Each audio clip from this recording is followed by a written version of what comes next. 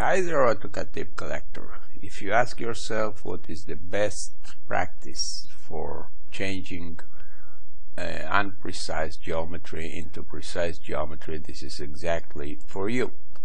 So I have a rectangle here and if I look at the measurements, the dimensions over here, I'm not going to let uh, myself calculate the difference to get those exact dimensions. Instead, I'm going to click here and here and go to the other side and start again, start over, like from this point to this direction, let it be exactly 160, like so.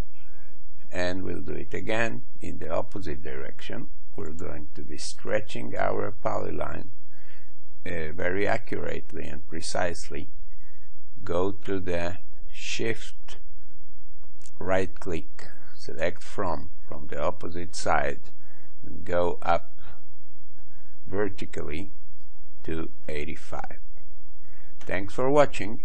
Bye bye